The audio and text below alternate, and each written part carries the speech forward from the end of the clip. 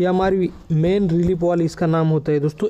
एकदम इजी भाषा में सिंपल भाषा में यदि आपको समझाऊँ, आपने कभी भी नल का पानी खेला ही होगा। जैसे हम नल के मुँह को बंद करने की कोशिश करते हैं मतलब वहाँ पे अंगूठे से जितना दबाते हैं, उतना पानी का प्रेशर दूर जाता है। जितना हम मुँह उसका ढकने की कोशिश करते हैं, उतना दूर प्रेशर जाता है पानी का। और जितना खुला छोड़ते हैं, उतना कम प्रेशर आता है, पानी नज़दीक गिरता है। ज़्यादा पानी गिरता है, लेकिन नज़दीक जब उसको उंगली डालते हैं अंदर तो प्रेशर बढ़ता है। बिल्कुल उसी तरह इस एमआरवी का काम होता है। अब ये एमआरवी का प्रॉब्लम आने पर क्या क्या होता है, ये सब कुछ जानेंगे। इसका पिस्टन जब अटक जाता है, जाम होता है, या इसमें कचरा अटकता है तो आपका हाइड्रोलिक हमारी सबसे पहले आपको खोल के चेक करना पड़ेगा। उसके बाद आपको आगे का डिसीज़न लेना पड़ेगा। नहीं तो आपका एमआरवी जाम है उसमें कोई भी प्रॉब्लम होगा और आप हाइड्रोलिक पंप चेंज करोगे तो आपका प्रॉब्लम सॉल्व नहीं होने वाला है। इसके लिए आपके सामने ये एम हमने खोला है। J C B three D X दो हज़ार चौदह पंद्रह का मश, मशीन है। तो इसका सबसे पहले हमने ये एम खोला है। अब इसको कैसे खोलते हैं पूरा खोल के दिखाऊँगा। सबसे पहले ये उन्नीस का ऊपर का नट निकालना है हमें। उसके बाद इसको ट्वेंटी सिक्स का दो टूल्स लगेंगे इस तरह से। दो टूल से आपको इस तरह से खोलना है।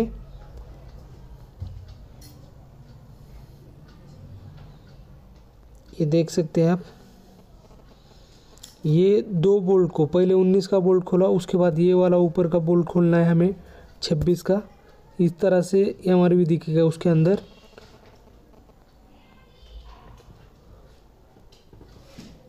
ये देख सकते हैं आप। दिखने में थोड़ी परेशानी होगी, क्योंकि मैं मशीन के नीचे बैठा हूँ, झुक के बैठा हूँ थोड़ा सा। ये देख सकते इस तरह खोलने के बाद ये स्प्रिंग वगैरह निकलता है उसमें। तो आपको डीजल में क्लीन करना है, उसको और बाद में बैठाना है। इसके अंदर ये वाले पिस्टन भी निकलेंगे। इसमें जितने भी पार्ट्स निकलेंगे, स्प्रिंग, ये मेरे हाथ में पोपेट है, एक हाथ में प्लंजर है ये प्लंजर, पोपेट और पिस्टन, इसमें जाम नहीं होना चाहिए। आराम से एकदम आहिस्ता निकलना चाहिए। यदि आप में जाम होता है तो आप एकदम ज़ीरो नंबर के पॉलिश पेपर से, उसे पॉलिश पेपर से आप उसको पॉलिश कर सकते हैं। ज़्यादा नहीं करना, एकदम स्मूथ। ये मेरे वाला एकदम फ्री है, आप देख सकते हैं। ये ऐसे करने पे भी हिल रहा है। एकदम फ्री है। ये तो मैंने आपको दिखाने के लिए खोला है, सिर्फ़। ये एम आर वी दो हज़ार पंद्रह के J C B three D X model का है इको एक्सलेंस का है। ये पोपेट भी होता है ये लंबा वाला। ये अंदर का जो प्लंजर है, ये पोपेट, देख सकते हैं अभी। ये ओरिंग को देखना है ओरिंग कटी हुई है, तब भी आपका प्रेशर नहीं बढ़ेगा। ये सेंटर वाली जो ओरिंग है, वो भी आपकी अच्छी होनी चाहिए। ओरिंग कटती है तो सीधा ओरिंग रिप्लेस करके जैसे खोला है, वैसे बैठा दो। हाँ यदि एमआरवी की आप ऊपर की एलिंग की सेटिंग हिलाते हो और ये हमारी वीक खोलते हो तो आपके पास हाइड्रोलिक प्रेशर भी होना ज़रूरी है। क्योंकि उसके बाद आपके हाइड्रोलिक प्रेशर की सेटिंग हिल जाएगी तो आपको प्रेशर दोबारा से सेट करने के लिए आपको आपके पास हाइड्रोलिक प्रेशर गेज होना ज़रूरी है। नहीं तो आप एम आर खोलोगे क्लीन करोगे, बिटाओगे, सब कुछ ठीक से करोगे, लेकिन आपके पास हाइड्रोलिक प्रेशर गेज नहीं है तो आपका काम अधूरा रहेगा, आपका काम बिगड़ भी सकता है, कम ज़्यादा प्रेशर होगा तो कम होगा तो मशीन चलेगा नहीं, ज़्यादा होगा तो एक आधा होज पाइप तोड़ सकता है, ये आपको ध्यान देना है। ये देख सकते हैं, मेरे एमआरयू में जितने भी पोपेट्स है प्लंजर है पिस्टन है, सभी के सभी एकदम फ्री बैठे हैं। मतलब उसमें कोई जंग लगा नहीं है, उसमें कुछ कचरा अटका नहीं है। ना उसको कुछ मटेरियल अटका हुआ है। लेकिन ज़्यादातर मामलों में क्या होता है आ, कभी जाम हो जाता है कभी कोई कचरे का टुकड़ा उधर अटक जाता है।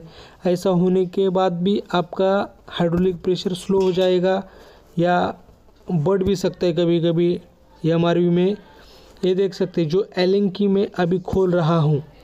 यदि आप इसको हिलाते नहीं हैं तो आपका प्रेशर सेटिंग जो है वो उसमें प्रॉब्लम नहीं आएगा, उसको आपको फिर हाइड्रोलिक प्रेशर की गेज की ज़रूरत नहीं है। लेकिन इसको खोलते हो तो आपको हाइड्रोलिक प्रेशर गेज लगेगा। ये एलिंग की देख सकते हैं आप। चार नंबर का एलिंग के आएगा उसको।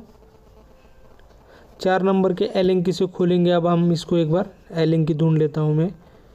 मुझे एलिंग की ज़रूरत पड़ेगी इसको खोलने के लिए। जैसे भी थ्री डी एक्स से जुड़ी हर जानकारी के लिए जल्दी से जल्दी चैनल को सब्सक्राइब और वीडियो को लाइक कीजिए ताकि आने वाले सारे वीडियो आप देख सके, आपका नॉलेज इम्प्रूव कर सके। ये जो पीछे की एलिंग की मैंने आपको बोली थी, उसको मैं खोल रहा हूँ। थोड़ा सा आपको वीडियो में दिखने में परेशानी हो रही है, मुझे भी पता है। ये देख सकते हैं आप। ये एलिंग की मैंने एलिंग की स्क्रू से खोला है। ये अंदर पोपेट और स्प्रिंग निकली है। लेकिन ये जाम नहीं है। ये इसकी कंडीशन बिल्कुल नई एमआरवी जैसी है। एक अच्छी मशीन की होती है। बिल्कुल उसी तरह से इसका हाइड्रोलिक ऑयल भी बहुत अच्छा है इस मशीन का।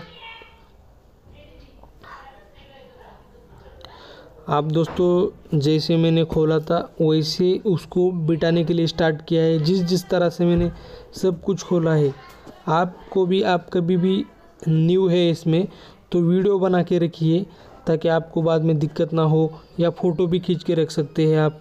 जैसे जैसे स्टेप बाय स्टेप खोलेंगे, देख सकते हैं मैंने जब पहले नट निकाला था एलेंक निकाली थी तो इसको मैंने असेंबल किया है। अब इसके नीचे ए में स्पूल को दबा के चेक कर रहा हूँ। स्प्रिंग वगैरह सब कुछ अच्छा है, कहीं पे भी अटका नहीं है। अभी इसके बीच में भी एक स्प्रिंग बैठेगी, जो पहले निकाली थी हमने। विदाउट स्प्रिंग के बिठाएँगे तो बाद में प्रॉब्लम आ सकती है, गड़बड़ हो सकती है। जैसे निकाला था, जितनी भी स्प्रिंग जितने भी स्पूल होते हैं अंदर के पिस्टन प्लंजर सब कुछ जैसे बिठाया था, वैसे आपको, जैसे निकाला था, वैसे आपको बिठाना है। ये बात को ध्यान में रखिए। ये इस तरह से पिस्टन को पहले पोछना है, डस्ट नहीं लगनी चाहिए अंदर। पिस्टन को अच्छी तरह से पोछ के लेंगे और फिर इस पिस्टन में आपको ये नीचे वाला हाउजिंग लगाना है। बस अपना काम ख़त्म। जिस तरह से खोला था, उसी तरह से टाइट करना है आपको इसको अच्छा खासा टाइट करना है। ट्वेंटी सिक्स का टूल्स लगेगा, आपका 2016 17 18 का मशीन होगा तो आपको 26 के दो टूल्स लगेंगे। आपके पास टूल्स नहीं है तो आप उसे खोलिए ही मत।